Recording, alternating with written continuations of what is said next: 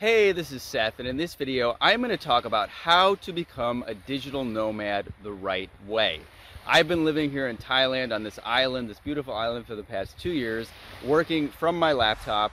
Um, I'm able to manage and handle all my US-based business while I'm living overseas. It's been a wonderful experience, and I definitely recommend it if it's something that you are dreaming about or are passionate about. And it's never been more realistic or possible to actually be a digital nomad as it is right now. Remote work has skyrocketed, things are opening back up, it's possible to travel, and you know, you can do it, you just need to know the right steps to do it. So in this video, I'm basically gonna talk about how how to do this, and it's not that complicated, but you do need to plan things out and know how everything works. Now, to be a digital nomad, the first thing you need is to be a digital worker of some kind. You actually need to be able to earn income through the internet, through either a remote job or freelancing or your own online business. That's what gives you the ability to travel without having to go into an office. And I'm going to talk about that in detail. But first, before you go there, you really do want to have a vision and a plan of where it is you want to live and where you want to travel. You want to actually understand what it's going to be like wherever it is you want to live, whether you're going to travel domestically or internationally, what it's like to live in that place, but you also want to understand the cost of living in wherever you're going to go. Because for some of you guys, like let's say you want to live in Southeast Asia, where I live, this is one of the reasons a lot of people live here, is the cost of living is much, much lower than in the West, which means you don't have to work as hard, you don't have to work as many hours, and your, you know, your income requirements are different. Now, if you want to, if your dream is to live in Paris, you have to work a lot harder and make a lot more money because the cost of living is a lot higher. So I'm going to kind of um, give you some insights on again how to determine that and also just how to get a sense of where it is you want to live before you actually go there. So I want to give you just a little more detailed guidance on researching destinations and it is so much easier to do this now than it ever was. I actually remember when I moved to Hawaii back in like 2005 I I had to rely on a book. This is actually a great book. Um, one of the better books out there, better than Lonely Planet or anything. But I remember you used to have to just rely on a guidebook, and now thanks to Google and the internet, there's just so many more like four-dimensional ways to actually get a sense of where your your destination is going to be. The first thing is Google. Google is any question you have, Google it. You will likely find an answer, but I'm going to give you a few more resource, specific resources on top of that. Now, social networking sites, what I mentioned before, like with Facebook, literally, if I want to go to Medellin, Colombia, like literally, I just, uh, I even misspelled Colombia.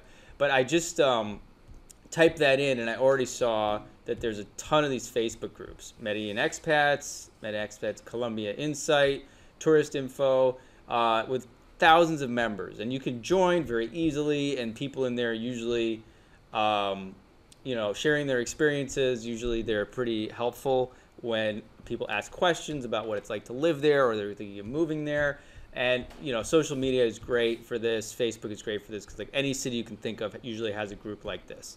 Um, another resource I want to recommend is this particular website, which is called Expat Den, and you can see they have uh, they have a lot of information about all these different countries, um, Western countries like France, Germany, Italy, and also other countries like Malaysia, Mexico, Philippines, Thailand, Vietnam, etc.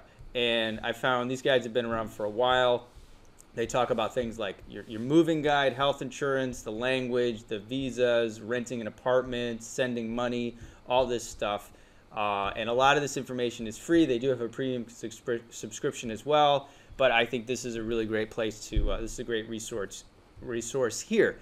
There is a site called Nomad List that a lot of people like. I actually haven't joined it myself. This is the place where I was talking about how they uh, give you estimates of the cost of living, but I think you should take it with a grain of salt and really get specific. Don't just look at their estimates and say, "Oh, that's what that's how much it costs." I mean, again, you can get a sense of things, but you really want to um, look at, for instance, with the apartments, you want to actually look at actual apartments and see the different prices.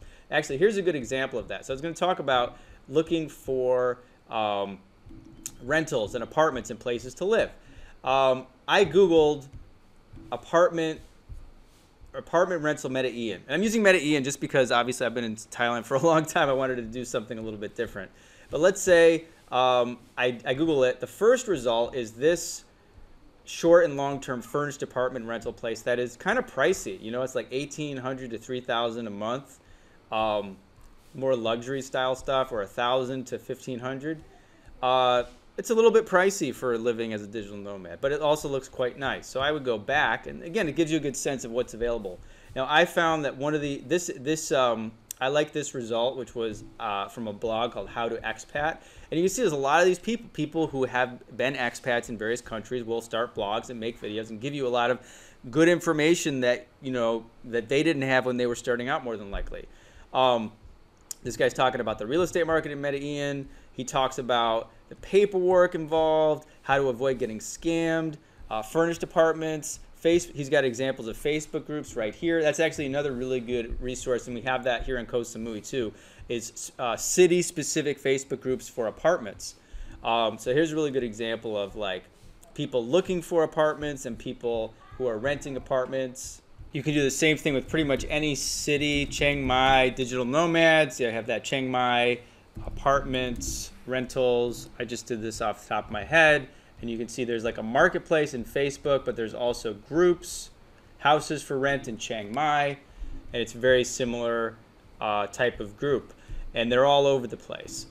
Uh, so social media, Google, these are all really great resources. And then again, what, um, this blog, and again, there's a lot of blogs out there, uh, individual people sharing their experiences and they're talking about, for instance, for Medellin, they're talking about the costs of uh, apartments in various neighborhoods within Medellin, and this is also very, very good intelligence to have because you know you're going to learn. You want to learn about the cities that you want to visit. You want to learn about where you want to live, where you don't want to live, in terms of cost, and also in terms of the experience that you want to have. Um, unfurnished apartments, contracts, and things like that. So then once you find someone like this, like great, you can actually probably likely le- reach out to this person or see what other uh, what other topics they're an expert uh, expert on. Um, and this is specifically for Colombia. So then you probably find blogs, you know, specifically about Thailand, about Vietnam, and all these other things. If I type in like expat blog Thailand,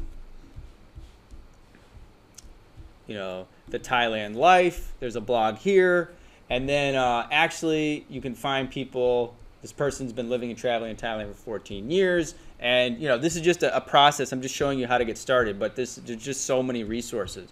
The other thing is um, you can definitely, so we got Nomad List. You could also go to this website, Couchsurfing, which um, used to be free. Now I believe there is a fee to, uh, to join, but it's a really great social networking site where, where basically you will uh, once you join you can find people in various countries who are basically letting people crash on their couch. And the cool thing about once you crash on somebody's couch uh, do couch surfing is you're really getting to connect with a local um, and get their authentic insights into what it's like to live in whatever city you want to go to you can also go on Airbnb and not only use Airbnb to research the price of the housing in the place you want to go, but what I recommend is if you go to the experiences, like let's say I wanted to go to Rome, you can see all these experiences. And I found this one, Rome by Vespa with a local. There's a lot of these things where like a local is put up their gig on all these people do. They live in Rome, so they're like, hey, I'm gonna I'll give people a tour. I don't you don't need to pay some big tour company. I'll just just pay me and I'll show you around Rome. We did that. I did that when I was in Japan and it was great. And you click on it and then you see your host, Angelo, and it talks about he grew up in Rome and then you can contact him. He's got an Instagram page, and now you can get in touch. Now you can actually, if you go to Rome, you can actually buy his gig and get to know him in person. But you can also ask him some basic questions just by clicking contact. And guys, it was never this easy to connect with people in other countries before the internet. It's absolutely amazing, in my opinion. Being someone from the old, the old uh, pre, pre-internet world of the 1990s. Uh, the last two recommendations I was going to make. So I talked about blogs, uh, rental sites like the one we, we talked about uh, before uh, that's you know most of the time if you Google, if I do rent apartment in Thailand, you're going to see probably this one, which is Thailand property. These this is one of the biggest websites in Thailand, and they have you know you can search by location, and they have all sorts of rentals listed here. Um, so definitely, these are all great resources, blogs, experience sites like Airbnb, social networking. And what I was also going to talk about in terms of social networking is language. So there's two sites I recommend. One is called uh, italki, and this is actually where you can get one-on-one lessons with uh, language teachers in any country. And I've actually been doing this to learn Thai, uh, but you can go, you know, you can learn English, French, Japanese, Italian, but you can learn like pretty much any language you can imagine. And the cool thing is, it's it's a networking site like Facebook, but the it helps you get introduced to the people a lot easier than just randomly messaging somebody on Facebook. Like if you want to go to, let's say I am learning, let's say I want to go to, um, I don't know, France. I know, I picked France because I haven't picked that one yet.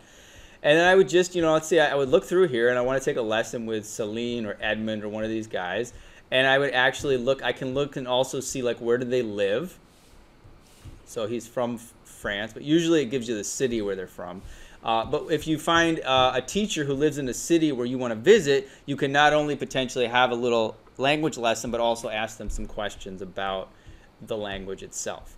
Um, it's just a great way to meet people and then with a common interest and it's a platform like you know again it's like a dating site it's a way of connecting people but it's it's specifically about learning languages and actually if you look at all the different languages here you got arabic you got esperanto nobody speaks that chinese uh, Hebrew, Icelandic, Indonesian. You know, like when I was learning Thai, I just clicked I am learning Thai. And I could, you know, just look at all the different people. You can see how many reviews they've had. Um, you know, you can click on them and see where they live. They're living in Bangkok. And so if you're in the middle of the conversation or you can you can even ask people say hey can i talk to you about you know what it's like to live there or you know, give me some advice or some resources whatever you want to do and on the same uh, token, there's an app called Tandem. And this is different just because this is not a, about lessons. So with italki, you do have to pay. But I'm telling you, the depending on what language you're learning, it can be really inexpensive. I know like I pay like $10 a lesson sometimes. With Tandem, it's just um, language uh, chatting, language exchange. Like you just want to practice speaking a language with another person. And again, if you're if you're like going to England and you're from the US, I mean, you really can't do much. You both speak English, but if you want to practice, you know, Spanish, French, German, Italian, Korean, Chinese, Thai, whatever it is, I've met actually a couple of really cool people through this app just because they wanted to speak more English and I wanted to speak more Thai, and it's a really cool app to use.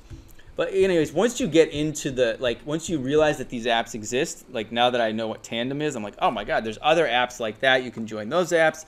And you can get again a really clear sense of what it's like to live in that place whether you're going to talk to an actual local who grew up there who's a native of that country or an expat who has relocated there. There's just so many opportunities to meet people through these various groups whether it's the housing group or the expat group or through these blogs or through couch surfing whatever you whatever it is. There's so many websites you can use and these are just some ideas but i hope that this gives you some inspiration and some ideas of where to get started. Now i started running my online business in 2016 and I took my first trip to Asia in 2017. I visited the Philippines, Vietnam, Malaysia, Thailand, Singapore. Um, and that was a great experience because I actually got to sample each of these countries. And after visiting each of these countries, which each one of them ha had wonderful qualities to them, but I really liked Thailand. And it was really great because I came back to the US, but when I decided to leave in 2019, I knew Thailand was going to be my home base because I had actually spent time there.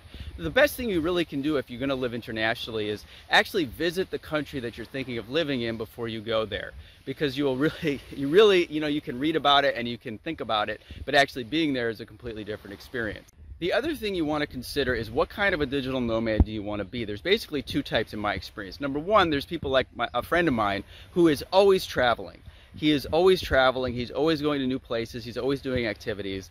And that is definitely an exciting way to live, but it's also very time consuming to do that much traveling and it's not very stable. And then the number two way is the way I do it is I've been living in the same villa for the last two years. So it's almost like, in a way, it's like I live in any other city. I just happen to live in another country on an island. Um, and you really want to think about that because traveling takes up a lot of time and energy. The planning, the packing, the actual travel itself. Um, and I think I've heard of some people getting burned out by being a digital nomad, and it's mostly because they are just moving too much rather than actually finding a place they like, setting up some roots, building a community, making some friends and things, which I've done here, which makes it much more sustainable basically the more detailed your research is, the better you're going to feel as you move forward in your journey. Now, the other thing I've realized from talking to so many people over the years is that, you know, I actually lived in Hawaii when I was in my 20s, and I was not a digital nomad. I was just a bum. I didn't have any income, and I was always broke. But people would always ask me, I did, you know, I got jobs here and there, and I'd work at this big hotel, the Hyatt Regency, and people would say, how did you move to Maui? Like, how did you do it? And these are like successful people with money. And I realized, like, I said, well, I got on a plane And people, a lot of their barriers are actually mental and psychological. This idea that you can't, you know, move around, you have to stay in one place. This is something that's now changing in the world as remote work has become more popular. But you just have to really dig into your own psychological barriers. Like, why can't, if you have a remote job, why can't you move? You know, is it a uh, do you do you need to be in the office of your company? Do they have meetings once a month or something like that? Could you negotiate with your boss to go fully remote? Um, and the the other thing that you usually have to deal with if you do have a remote job is scheduling. Like, yeah, if you if you need to be available from nine to five U.S. time and you're in Asia, that's a problem because Asia, in Asia it's going to be the middle of the night. But let's say you travel to South America, the time zone is nearly the same. If you're in Europe, you just end up, you know, working from afternoon to late evening it's all very manageable. So what in your own mind and heart is stopping you from being a digital nomad is something you want to examine. And the other thing is, of course, when you actually assess your cost of living in another country, you might get very excited because you're going to say, oh my God, you know, I have to spend this much money to live in the US, but if I lived in uh, Chiang Mai, or if I lived in uh, Kuala Lumpur, or if I lived in Medellin, I could spend a quarter of that money and I'd need to work a lot less and everything would be a lot more manageable, which is one another reason people like to be a digital nomad. Um, but you'll have a clear vision in your head and you'll know what kind of skill sets and what kind of uh, energy you have to put into earning money before you travel. So now I'm going to go into detail about the remote skill sets I recommend that you can use to earn income as a digital nomad. Now I, I was just going to do a quick overview, but I ended up recording like getting into this re really in depth and I hope you enjoyed this part of the video and I hope it gives you a lot of ideas and some inspiration about what's possible when it comes to earning money online. So now I just want to give you an overview of the kind of remote skill sets that you can acquire, how difficult it is to acquire them, and the possible compensation you can get from these skill sets so you can understand how much money you could be making while you're traveling remotely and living as a digital nomad. Now, this is just a quick overview. There are so many skill sets, guys, so many remote jobs and freelance opportunities available now, especially after the pandemic. And I've broken this down to basically three tiers of difficulty and compensation, going from some a job that would be relatively easy to get and wouldn't pay as much to one that's more difficult to get and requires more training. So I'm starting off here with tier one, which I would call low skill, low pay job that's easier to get into quickly, but has lower compensation and requires really low brain power. It's really the easiest way to put it. And the two main skill sets here is basically just customer service and data entry. Now, honestly, this is what I did after college because I didn't have any actual more high income skill sets. Um, customer service, you know, answering phones, talking to customers, and data entry is typing in stuff. And also general transcription, which could be taking uh, audio or video conversations and typing out what people are saying. Uh, there are a lot of opportunities in this, and you really don't need much additional training to know how to do this. If you go over to Upwork, which is a freelance marketplace where essentially these are not jobs, these are not salary jobs, these are gigs, these are like one off um, jobs that companies need for people to do. You go over to transcription, you see there's 4,800 jobs, dictations, transcription. Uh, you can see like somebody wants someone to handle transcribing audio, meaning you have to listen to audio and just type out what people are saying. This is very basic stuff, and you can see the pay is not that great, eight to uh, twelve dollars an hour. Now, if you're in the U.S., I would be like, eh, this doesn't seem like a great opportunity. But this this company's already spent a lot of money. They've already spent eighty thousand um, dollars. If you're living in a country in Southeast Asia, like Cambodia or Vietnam or Thailand, or if you're in Costa Rica or in South America, eight to twelve dollars an hour is pretty good considering that your cost of living is so low. So that's again why I'm including this in the digital nomad video. Um, you can also go over to this website called Rev, which uh, is I use them for my captioning actually, and you can, you can be a transcriptionist or a captioner, and they pay you per uh, audio minute that you transcribe. And again, it's not a lot of money, but if you do, let's say, a uh, 30 minute video, and let's say you make a dollar per minute, that's 30 bucks. If you make less, if you make 50 cents, that's like 15 bucks.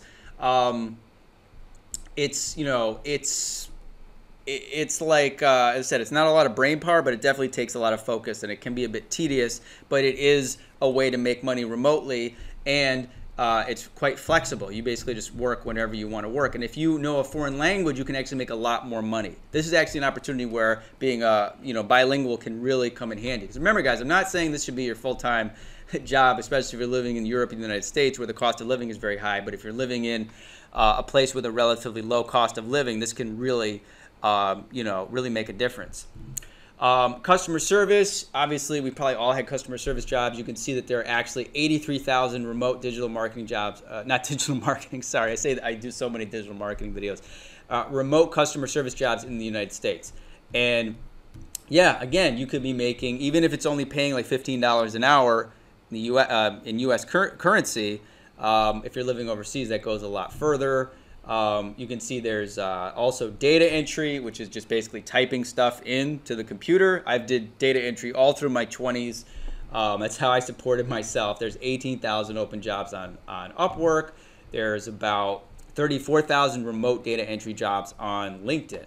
So, yeah, there is definitely a lot of opportunity in these sort of tier one, as I call it, jobs. 8,000 customer service jobs, uh, gigs on LinkedIn. Now, this is better because, you know, if you get a job, I will say that if it's a nine to five job, the challenge if you do go to Asia or Europe is that you will be in a different time zone than your company, and you need to make sure that you can. That's that's doable. But if you get a gig through Upwork, it's usually like a one-off thing. And especially uh, customer service versus transcription. Transcription is usually something you just do it on your own schedule versus customer service where, where you actually have to be available to talk to people. Oops, there's just jumping ahead there for a moment. Uh, so yeah, so this is again, this is really good way to get income coming in, but it's not going to make you a lot of money. But you may not need a, mon- lot of money depending on where you live. Now the last, uh, the last sort of low skill, low compensation um, skill set is uh, proofreader. Now this uh, is basically this is actually a real thing like people you can see there's 5000 this is remote jobs in the us there's 5000 remote jobs there's 17000 open jobs and basically anyone who does copy, you need somebody to double check and make sure you don't have errors. So this is actually a very valuable skill set. And some of you guys who are college graduates, or you know how to write properly, you know proper spelling and grammar, etc. You know, good with details. This is something you could potentially do, and you could potentially do it in a remote position. I'm also going to talk about this website in a little bit, Fiverr, which is another online marketplace like Upwork. But you can see here, there's like people, you know, you can actually research Fiverr and uh, look for uh, services that people are offering that have a lot of reviews, which indicates there are people on this marketplace looking for things like proofreading services. Now, something you'll notice that like the top rated seller here is charging very, very little. Uh, proofreading a thousand words for 10 bucks, that's very, very low. Uh, that's not a lot of money. It's again why I put it in the low, in, the really low income skill. This person is doing very well as well, charging a more respectable amount at $55. But again, I put it in here under the remote work because again, you're living overseas, you're paying a quarter of what you'd normally pay in living expenses, then this could still be a good idea.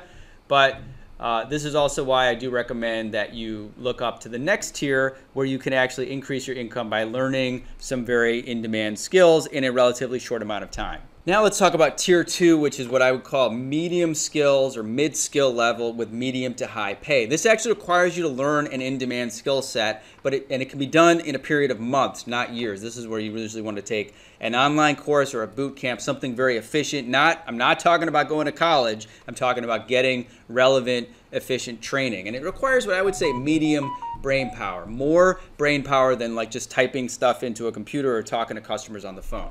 And obviously my skill set of choice is digital marketing. You if you I'm not going to get too much into it here because you can watch like literally all the videos on my channel are about digital marketing. But this is a skill set that you know I've had people from all different backgrounds. I've had artists, um, warehouse workers, engineers. Um, I've had realtors. I've had people from like every background you can imagine learn digital marketing and be able to apply it uh, w- with a lot of hard work, but it's not prohibitive. It's not like becoming a doctor or something where it's like so takes so much time to learn and it's so mentally taxing. Um, it's a really great mixture of analytics, analysis, and creativity. Yeah, and there are just so many jobs. So if you look at digital marketing in the United States, there's 246,000 open jobs. Um, technically, you're going to see that 68,000 of those are remote, according to LinkedIn, which is already a ton of jobs. But something I like to point out to people, I'll just get into this a little bit because I'm so passionate about this topic, is that you're going to see jobs like this digital marketing specialist slash Omnimedia. This is an agency that has been growing for a long time. They're always hiring. I, I do these walkthrough videos every month and I always see these guys. And this is an entry level role. They say minimum one year paid search experience. Um, again, which is what I teach you in my course, is how to decipher these job postings. But basically, they want someone who knows about something called Google Ads, Google Analytics, Facebook advertising, which basically um, advertising using Google, using Facebook, or search engine optimization, which has to do with helping websites rank higher in Google search results. And a lot of these tools and platforms. Now, if you look down using LinkedIn Premium, you can see that out of the 27 people that have applied, most of them do not even have these skill sets. You got leadership, customer service, Word, time management, and one, maybe one person has search engine optimization, but nobody has actual Google Ads or analytics experience, meaning you're going to be a standout candidate. And what that also means is that because these guys are trying to hire locally in Columbia, South Carolina, they may just not find anybody and they may be forced to go remote. Uh, so there's a lot of opportunities that where even a position that says it's not remote can become remote in digital marketing. Just to give you a scope of the opportunity in this field. Now, if you go over to Upwork, and we dig into the specific skill sets, you can see there's 15,000 search engine optimization roles, um, SEO content writer, which is a specific aspect of, of search engine optimization, which for a lot of you college grads who are good at writing, you want to learn how to be SEO writers. Because the way you've learned to write in college, that's the academic style of writing, does not work in, in, business. Nobody wants that style of writing. They want someone who can write catchy, uh, engaging content that Google likes. That's what that's what SEO content is, and you can see there's almost 10,000 open jobs on Upwork.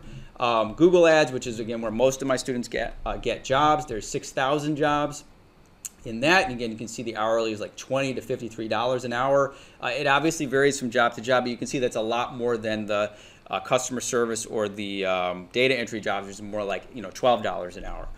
And then of course Facebook ads where you can see the hourly can be even higher because again these ads are directly helping companies make money. That's why it's a more high value skill set and also why it takes a little bit longer to learn and implement and get confident in the skill set. Um, yeah, so that's what I have to say about digital marketing. Now the next the next uh, skill set, I actually jumped over to that in a moment, would be web developer or WordPress developer. Now, web developer sounds a bit intimidating, but actually learning how to build a website using uh, WordPress in particular is actually not that difficult to do. I teach all my students how to build WordPress websites in my course. I've had students get clients for WordPress, paying them anything from $400 to $800 a month to maintain the website. And being a web developer and doing a little bit of coding is also something you can learn in a short amount of time. I don't teach like dedicated web development, but you can find boot camps and online courses that are very good. And you can see there are 25,900 open jobs. Also, WordPress developer, like I mentioned before, WordPress is a CMS platform that essentially makes it very easy to install a website without knowing really any code at all. You can definitely learn, you can learn so much about WordPress and web development online and apply for any of these jobs here. Um, yeah, and this is you know we're in the the world of I would say the you know again medium medium skill set that is not you know pretty much anybody who really is a bit tech savvy and wants to learn how to do these things can do them. So the next like mid-level skill set I recommend is bookkeeping. This is a non-technical skill set, but it is is really an evergreen skill set because every company needs a bookkeeper. A bookkeeper you guys don't know, is basically somebody who keeps track of all the expenses and expenditures of a company, and they work with accountants to help basically say what did the company spend and how much money did they make. And there's a there's a huge need for, for bookkeepers, and again, it's not taught in college, right? So you people have to acquire this skill on their own, and you can do this without uh, a degree and without any kind of licensure. You don't you don't need any type of accreditation to be a bookkeeper. Um, you, you actually don't. Unless, you know, CPA, if you want to be a certified public accountant, you need to have that certification. But just to do bookkeeping, you do not. Very similar with uh, web development, digital marketing, no degree is required. Um, so if you go over here to Upwork, you're going to see that's transcription. Hold on. That's data entry. And here's bookkeeping. So there's about 4,900 jobs in bookkeeping. If you go over to uh, bookkeeper in the United States, there's about 4,900 remote jobs in uh, bookkeeping. And I've known a lot of people who've started like very uh, successful freelance bookkeeping businesses. There's a friend of mine, Ben uh, Ben Robinson. He runs this bookkeeping uh, bookkeeper launch, and his course is very similar to mine in that he provides really practical advice. He's got a great community. He's got a lot of testimonials of people who have actually done this. Again, much more efficient than like going to college for something like this. Uh, so I definitely, if you like, you have to really like numbers. you know, some people you might say, hey, I'm not so into computers, but I like numbers and, and business. Then this would be more of a skill set for you. Finally, we get to tier three, which I call high skill, high pay. This is where it requires learning a very sophisticated skill. Can be done in months, but it really requires a lot of brain power. And the main skill sets here are basically it's software engineering or coding. Um, and I actually just wanted to kind of use this as a way to frame and give you perspective on uh, tier two, the mid skill, which is to say that you can earn pretty much the same amount of money with digital marketing or bookkeeping as you could with coding, even though coding and being a software engineer is just a lot more sophisticated. I personally couldn't do it. It takes a lot of brain power. I, I, couldn't do it. I couldn't handle it. Uh, so it's really this is really for a specific type of person who's very smart and very analytical and very good with with uh, with things you know with uh, mathematical concepts and things of that nature to learn uh, various uh, computer languages, you know PHP, uh, JavaScript, C++, things like that. And if you go over to LinkedIn, you're going to see like remote. There's 119,000 remote digital marketing jobs based in the U.S. So these are going to pay very good. Uh, but you know you're going to need experience slash knowledge of some very sophisticated stuff. I mean, here like junior Java web developer for 12 months, React uh, Bootstrap, uh, Spring Boot uh, framework. You really need to learn some very, very uh, sophisticated stuff here. But there's a ton of jobs, and if you have the um, the capacity for it, you know, I was at a I was at a um, a workspace here in Koh Samui in Thailand, and I met a couple of guys traveling. They were software developers they were traveling around, living like digital nomads, and that's what they did for a living. They were like super smart and they were doing software development.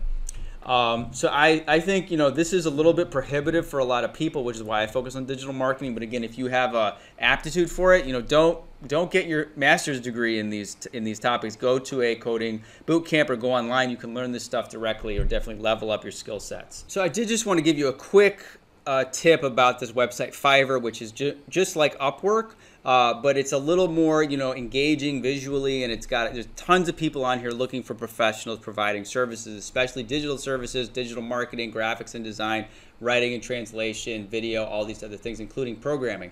Now, one of the things you're going to find when you come on here, let's say I look for, I'm looking for a content writer, is that you are going to see a big difference uh, in price for a lot of people. So you're going to see this person's charging $110, beginning at $110. This guy's charging 10 bucks.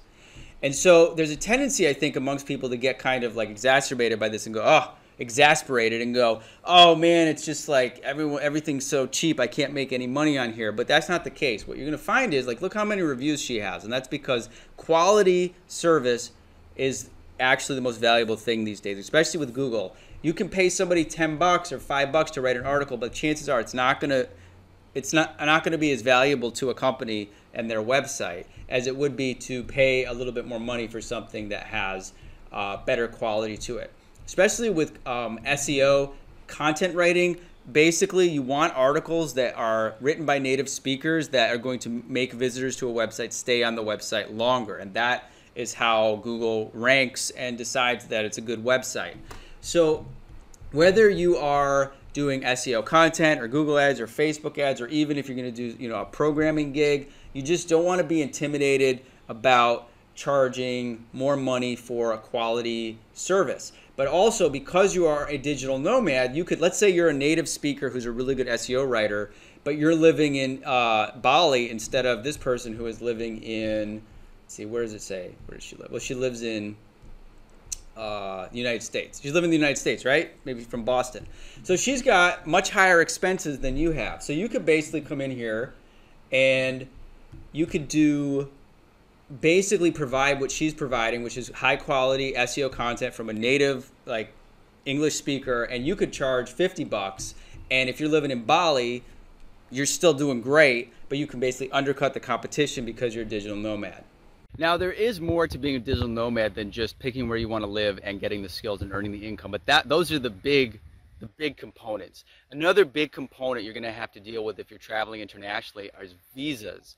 Um, if you've lived in the same country your whole life, like I had, you you know you never have to think about having permission to be in your own country. But once you're outside of your uh, borders, you need permission to be in other countries. And most of us just live as tourists, so we go in, and especially if you have a US or European passport, it's very easy to get a, a, visa on arrival in most countries. You can stay for 30 days, maybe even a little bit longer, but eventually you have to go home. If you want to spend a long period of time in another country, you'll have to investigate that country's long term visa options. Now, the good news is that, again, in most of these countries where cost of living is lower, they make it quite easy for expats to stay because they want your frankly, they want the income that you generate by being there. Um, I'm in Thailand, where actually I think it's one of the more difficult countries to get a long-term visa. They make it a little more difficult because, frankly, they know that this is a great place to be, and a lot of people want to be here. so, uh, but the, the point here is I'm not going to go into details of visas because there's so many different countries. But the point is you need to have your visa handled ahead of time, or at least know basically how to do it. You don't want to be in a foreign country and then suddenly realize, oh my God, I've overstayed or I'm in trouble or, you know, I have to figure this out while you're already over there. And then the last thing is going to be taxes. And I actually, you may have seen, I, I made another video called how to get a $100,000 tax break as a digital nomad. This is specifically for U.S. citizens, but there is a great tax advantage of being out of the U.S. for most of the year. Where, where, whatever country you're from and whatever your situation, you are going to still likely have to continue paying income taxes. Um, if you have a business based in your home country and you happen to be traveling or in a different location, you still are responsible for your domestic taxes, and that is between you and your tax professional. But again, it's that's these are the things that you actually have to deal with as a digital nomad. I know it's great when you see videos of people like you know in the ocean and doing fun stuff, but there is like actual business you have to take care of. One other thing you really need to be aware of as a digital nomad is how to avoid foreign transaction fees. These are fees that are extra that your bank will impose on you for basically doing business in a foreign country with a domestic bank. And it comes in th- three uh, typical forms. Um, most credit and debit cards have a 3% fee on all international transactions. You can see here Bank of America assesses an international transaction fee uh, every time you use an ATM in a foreign uh, country with a foreign currency. And that also is the same for a lot of credit cards. Um, you also usually get dinged by the ATM itself with a fee as much as $6. That's what it's like here in Thailand. Every time you take money out, you get hit with your, your home bank's fees plus the $6, uh, which is 220 baht, uh, plus any currency exchange fees. And that has to do with the exchange rate. Now, right now, the US dollar is very strong. In fact, uh, just to give you an example, like my forty thousand dollar a month rent was as high as thirteen hundred dollars a month U.S., but now the the dollar is so strong, it's only eleven twenty nine.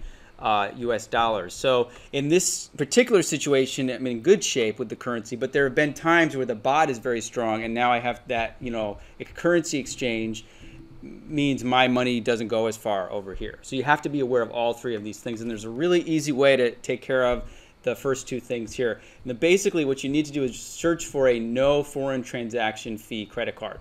And just go on NerdWallet or any of these other websites. You got Bank of America, Capital One, uh, Chase, um, any of these other, any of these cards will do. Um, I personally uh, got this BlockFi uh, credit card. I am not a crypto guy at all. I don't like crypto, but uh, they had a really good cashback program, and again, there's no foreign transaction fee, and it's through Visa. So this is the one I picked. There's tons of cards, and just pick one so that every time you know if you're buying stuff and living overseas for a long period of time, three percent is it adds up. Um, and the way to get out of the ATM fees is through something called the Schwab High Yield Investor Checking Account. This debit card, Schwab actually, this is kind of mind blowing. They actually will rebate all of the uh, ATM fees from the foreign country. And if you look at my uh, checking account here, you're going to see these are all my ATM withdrawals, and then here's the rebate. So literally, uh, every month you can see it's been as high as like 42 bucks, 38 bucks, uh, 28 bucks, 21 dollars. It's been as high as like 50 or 100 dollars at times if I've really needed to go to the ATM a lot. But every month, uh, Schwab gives me that money back right into my account, which I've never heard of any other bank doing that. So I think if you're going to be a digital nomad, um, you absolutely need to get this Schwab card. I'm not even affiliated with them. I just like to tell people about it because I think it's a really great business model. Make you know make people traveling to foreign countries happy. Um, I think it's awesome. So yeah, get yourself a no foreign uh, transaction fee credit card, the Schwab debit card, and you're going to be in a good shape to take care of at least two of these things. And then as far as the currency exchange, just be aware of it. You know, it fluctuates a lot, and just be aware of if your currency is stronger or weaker any given day. And I hope this the logistics in this video, the specific details, has helped you um, and given you a better, clearer understanding of what may be involved to become a digital nomad. And I hope it gave you a bit of inspiration and insight as well. And if you want to learn more about my digital marketing course that's helped thousands of people get jobs in digital marketing with no previous experience or education since 2016, please click the link below and check out my free masterclass where I tell you more about the digital marketing industry and how it's possible to get a $60,000 a year job within one year if you gain these skill sets and take action. It is definitely possible. You can see I post testimonials from my students every week and you can do it too. And then once you have those skill sets, you just have so many options, including being a digital nomad. So I hope you found this video uh, to be helpful. And again, if you have questions or comments, please leave them below and I will see you in the next video.